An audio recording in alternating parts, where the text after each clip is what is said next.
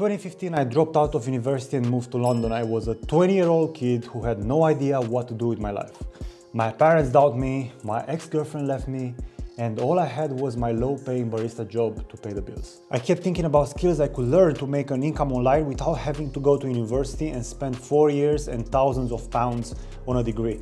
I wanted a creative job that I could do from anywhere in the world without being confined to an office, a chair, or a desk. After months of thinking and researching, I went to a bookstore called Barnes & Noble in London where I found a book about front-end development. Flipping through the pages reminded me of a guy I knew in Romania who was a front-end developer as well. He was making a fortune selling websites, living in a penthouse in the city center of Bucharest by himself, and he was only 17 years old. My brain kind of started piecing things together. If that guy could do it, why couldn't I? So I bought the book and my journey began. It took me nine months to go from knowing nothing about code to being employed, and it wasn't an easy feat. My background was in arts and I spent my time painting, drawing, sculpting and making music. I was terrible at sciences, math, physics and chemistry. I started from the bottom, probably worse off than most of you watching, but if I made it, you can make it too. Let's dive into it.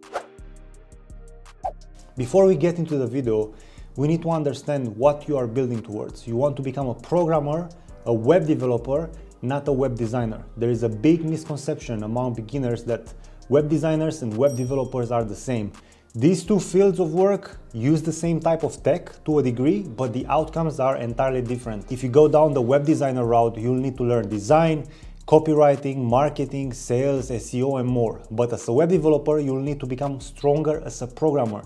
The main fundamental skill you need to learn as a web developer is programming in JavaScript. The cool thing about JavaScript is that if you learn how to use it and master it, you can go into other industries such as mobile development, where you'll be developing apps for iOS and Android, or app development for Windows, OS X, or Linux.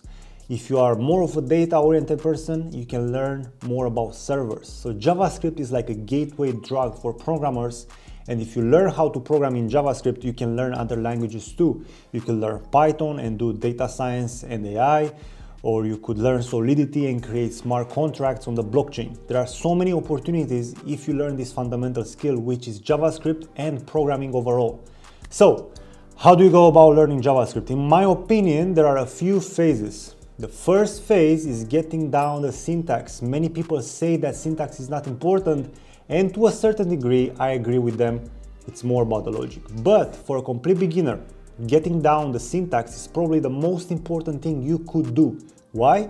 Because if you learn the syntax and are comfortable writing code without thinking about it, you can use your brain's processing power to solve problems. If you are preoccupied with remembering how to write a function, variable, or if-else statement, you won't get very far and you'll get stuck quickly. So if you're a complete beginner, make sure you know your syntax. Practice a lot. The code you write and the problems you solve don't even matter at first. Just write code until you don't have to think about the syntax and then you'll start to understand how the pieces fit together. The next phase is practicing algorithmic thinking, which is, sounds more complex than it is.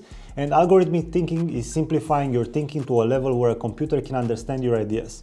In this process, you will start to think like a computer rather than thinking like a human. For example, let's consider the simple act of lifting this SSD. You take this action for granted, but your brain is actually performing many calculations to lift this SSD from the table. Let's examine this further. The first step is to determine the SSD location in relation to your hand. You figure out where the SSD is, then where your hand is, and use coordinates to determine the SSD position in space. You establish the XYZ axis of the SSD, and based on this information, you can deduce which muscles to flex to lift your hand up. Next, you need to determine when to stop lifting your hand and start moving it towards the SSD. When your hand touches the SSD, it sends a signal to your brain prompting you to stop moving your hand and start grabbing the SSD. As you can see, many steps are happening behind the scenes and you're not consciously aware of them. And if you learn how to break down problems like this, you'll be able to create any kind of application you want. If you smash the like button right now, what do you think will happen? Well, there is an event listener on that button that listens for a click. Once you click the button, you send the request to a server which adds one to the current number of likes. Then it returns the updated number of likes on the screen and then Give it a try now and let me know if it worked or not. Once you're proficient in JavaScript and feel comfortable with it, you likely become annoyed by its limitations. At that point, it's time for you to learn a library or a framework. Libraries and frameworks allow you to do more with the base language. There are people who try to do complex things and figure out ways to patch together different functionalities, then serve them to you as a library or a framework. One of these libraries you'll want to look into is called React. It's trendy and there are many job opportunities for those who know this library. By no means is this an exhaustive list of skills, but it should give you an idea and an overview of what you need to learn to become a front-end developer. The secret to learning JavaScript and React is to build projects. Your first project could be a simple counter app. Imagine a button that you press and the number increases, similar to the like button here on YouTube. That's your first project. From there, you'll build more complex things and become accustomed to increasing complexity and difficulty. Remember, like programming won't get easier, you'll just get better. As you improve, you'll be faced with more complex problems to solve, which will ultimately lead to a career opportunities and growth. Another essential skill for a front-end developer is the ability to communicate and be a team player. The front-end is a significant part of the equation, but being part of a software company means you need to communicate with backend developers, database developers, scrum masters, project owners, managers, and other non-tech savvy stakeholders. You need to express your technical ideas to non-tech people and those working in other areas of technology. Another skill you should learn is working with Git, a tool that helps developers collaborate on large code bases without interfering with other people's work, okay? Imagine an application like a massive Google Docs where everyone contributes. Someone fixes typos, another adds a paragraph, and someone else rephrases a title. A tool like Git helps prevent destruction of others' work in a nutshell, okay? Again, this list is not exhaustive, but it should give you a rough idea of what you need to learn to become a front-end developer.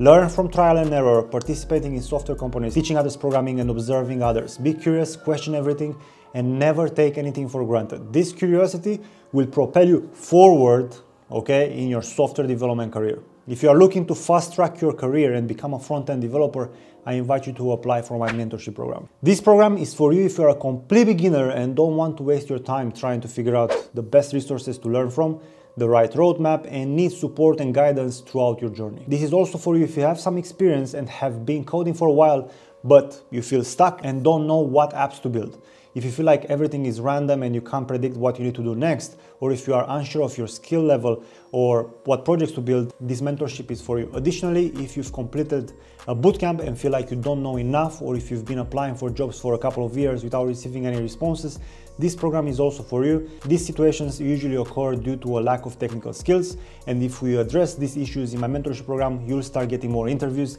and job offers leading to a successful front-end developer career. So, if you like this video and are interested in mentorship, click the link in the description and I'll see you in the next one. Goodbye.